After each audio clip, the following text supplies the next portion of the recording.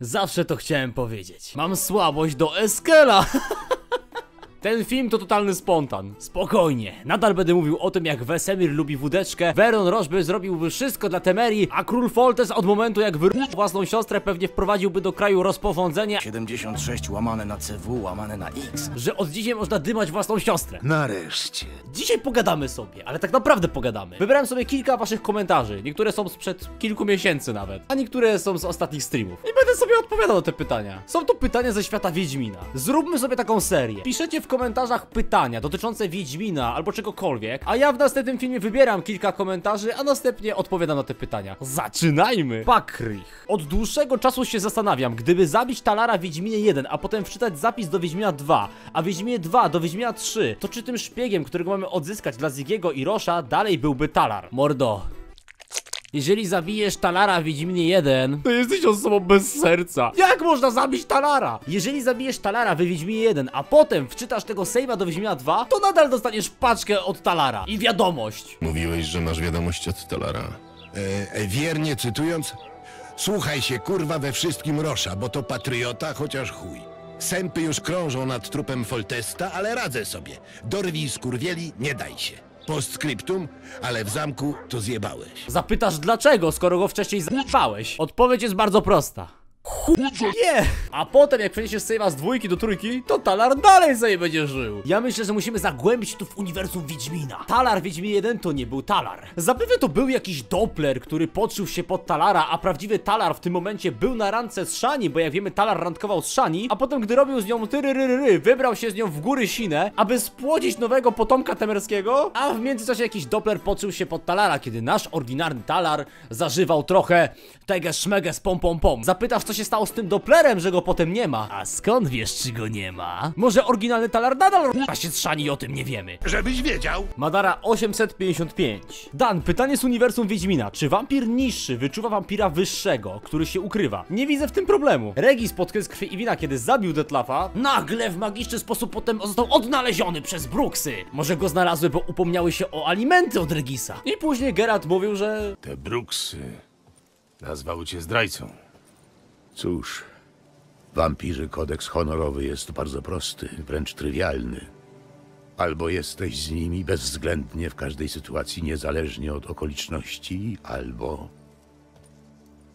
Nie odpuszczą ci. Więc tak, wampir niższy może wyczuć wyższego. Czy wampir niższy zaatakuje wyższego, bo nie wie, że też jest wampirem? Szczerze wątpię. Ja zawsze wampiry trochę traktowałem jak taką hierarchę. Niższe, wyższe, wyższo, wyższe. Jeżeli nie wiecie o co chodzi, to jest sobie wampir w Nowigradzie, który kurwa mówi, że jest wyższy, a Geralt go zabija, a potem mamy wampiry wyższe, który Geralt nie może zabić. Gdzie tu jest logika? Więc mamy wampiry niższe, wyższe, wyższo, wyższe i ukrytych. Oriana, która jest Bruxą, czyli nie jest wampirem wyższym, plus Regis, który jest wampirem wyższym, wiedzieli sporo o ukrytym. Szczególnie Regis mówił do Geralta, że to nie jest dobre, aby się do niego udawać. Czyli można powiedzieć, że oni byli niższymi wampirami niż ukryty. Nie dosłownie niższym, ale niższym w tej hierarchii. Skoro oni byli w stanie wyczuć, że ukryty jest potężniejszy i wiedzieli o tym jednocześnie, to dlaczego wampir niższy miałby zaatakować wyższego, bo nie wiedziałby, że jest to wampir wyższy? Myślę, że taki wampir niższy od razu czuje, że to jest wampir wyższy i nawet nie odważy się go zaatakować, bo wie, że poskładałby go jak japoński taboret z Tesco. Poltwa 2. Jak oceniasz zmianę charakteru Radowida między jedynką a trójką w tak krótkim czasie? Właśnie dużo osób ma problem z Radowidem, że jemu za szybko, za szybko, za szybko, no, no... No odpierdala mu! Jest w tym trochę racji. W Pani Jeziora niby zapowiedziano, że Radowid będzie tam taki, taki, taki wiecie, taki, taki, że widać, że w szkole podstawowej nie uczył się, nie, nie mówił nauczycielkom dzień dobry i dostawał same czarne kropki i pewnie uwagi do rodziców i przez to będzie tyranem, a nie królem. Ale jednak w sumie zmiana z jedynki na trójkę jest dosyć szybka. W jedynce mamy sobie fajnego Radka, takiego uczynnego super króla, który stwierdza Kurwa Geralt, ja cię chłopie kocham! W dwójce jest podobny, jednak już zaczyna swój plan realizować. W sumie tą sytuację trochę ratuje dialog z Wiedźmina 1, kiedy już mówił, co chce zrobić z czarodziejkami. Nie lekceważyłbym czarodziejek. Są piękne, mądre i pomocne. Ale to tylko pozory.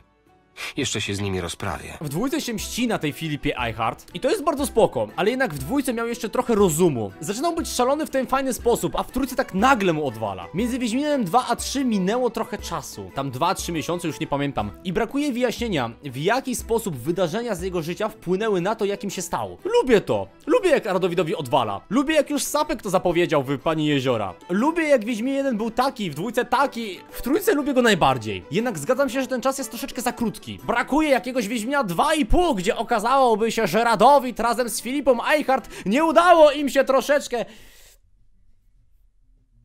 podbić jakiegoś kraju i Radowid się załamał i przez to dostał depresji i stał się królem, jakim się stał. Dokładnie tak. Kuox 2676. Opcja z wysłaniem ludzi do Kermoren jest tak głupia, że szkoda słów. Położenie Kermoren znało tylko kilka osób, na przykład Tris Merigold. Nawet Jaskier nie wiedział, gdzie leży Kermoren. Czemu niby Keira miałaby wiedzieć, gdzie to jest? Rozkminianie, dlaczego wszyscy przyjaciele Geralta wiedzieli, gdzie leży Kermoren jest bardzo prosta. Geralt po prostu kiedyś zaprosił wszystkich na libację i zaczęli chlać porządnie, a Lambert wyskoczył z sukienką, Eskel z sukubem i z kozą i potem była taka libacja, że Wesemir aż wszystkich wypierdolił z Kermoren, bo już nie mógł spać przez to, jak zaczynają tam się drzeć, szaleć i wariować tańcząc makarennę. No skąd wiedzieli, gdzie jest Kermoren? No, no pewnie Geralt brał mapę, mówił im Za tysiąc metrów. skręć w prawo. No i oni skręcali w prawo i docierali do Kermoren. Musiał im na pewno powiedzieć, gdzie leży Kermoren, no nie ma innej opcji. Leto jest w sumie najlepszym przypadkiem, gdzie mógłby wiedzieć, gdzie jest Kermoren, przez to, że inni Wiedźmini z innych szkół wiedzieli, gdzie leży Kermoren. Dla przykładu dajmy takiego Koena ze szkoły Gryfa, albo Brechena ze szkoły Kota. On też wiedział, gdzie leży Kermoren, ale nie miał tam wstępu. Może Leto też wiedział, gdzie leży Kermoren. Może to tak działa, że wszyscy Wiedźmini wiedzieli, gdzie leży każda szkoła wiedźmińska. No ale taka Keira, skąd miałaby się dowiedzieć, gdzie leży Kermoren? Yennefer i Tris wiedziały, gdzie leży Kermoren. Może Yennefer pewnego razu, jak przyszła do Keiry, powiedziała Aha, wiesz, dowiedziałam się, gdzie leży Kermoren. Keira, kur... Czaki pieczone w, słod, w sosie słodko-kwaśnym! Wyobrażasz to sobie, co ja tam zobaczyłam? Co? Co, Yennefer, zobaczyłaś? Zobaczyłam. Zobaczyłam takiego kuta! No i w ten sposób Keira się dowiedziała.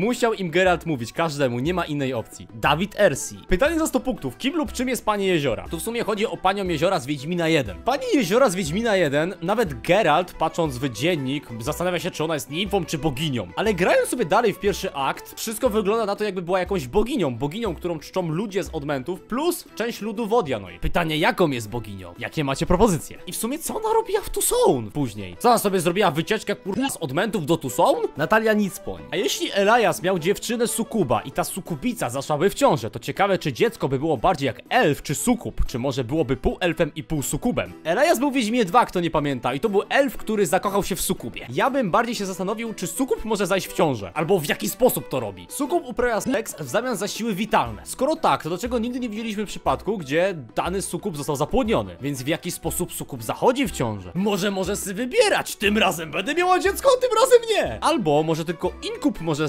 zapłonić sukuba. Inkub, czyli samiec sukuba. Albo jak to rozkminiliśmy na streamie, jakby sukub połknął, to wtedy by zaszedł w ciążę. Pozdrawiam Madara za wymyślenie tej teorii, bo mi się bardzo podoba. Ja obstawiam, że nie jest możliwa krzyżówka sukuba i elfa. Nie było w sumie takich przypadków nigdy wcześniej w uniwersum, plus wierzę w tą teorię, że inkub potrafi tylko zapłonić e, sukuba. Chociaż to z połykaniem nie brzmi tak źle. Filbajda. Dan, jak myślisz, co by było lepsze w Wiedźmie 4? Z góry określony bohater czy kreator jak w Cyberpunku? Bo jak dla mnie lepiej jak będzie z góry określony bohater. Może być z góry określony bohater, ale mam nadzieję, że będę mógł mu dostosować kuta. Szczerze, to co zrobili w Cyberpunku wcale mi nie przeszkadzało. Było to na tyle subtelnie zrobione. Nie był to kreator postaci na miarę Skyrima, gdzie totalnie zmienia się postać. To już był w miarę nawrócony model postaci, tylko można było go modyfikować. Jeżeli chodzi o taki kreator, nie mam nic przeciwko. Jest to tak naprawdę urozmaicenie tego, jak chcesz, aby bohater wyglądał. W sumie tu nawet trochę to widzę. Jak grasz sobie takim Geraltem, masz kreator postaci. Nie chodzi mi o to, że w Wiedźminie 4 będzie Geralt, bo nie będzie. Ale że masz, jaki, masz jakiegoś Wiedźmina, jest kreator postaci i sobie wybierasz.